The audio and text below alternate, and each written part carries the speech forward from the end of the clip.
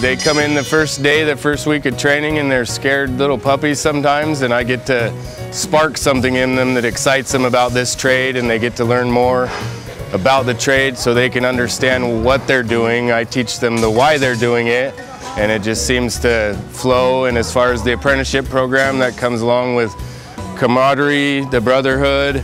Uh, you're making relations through your apprenticeship, so sooner or later these guys are going to be running work, some of them, and they're going to know all these people and know how to, you know, okay, I want this guy, he's good at this and that. So we were able to, to man work and run work a lot more professionally, proficient, and safely.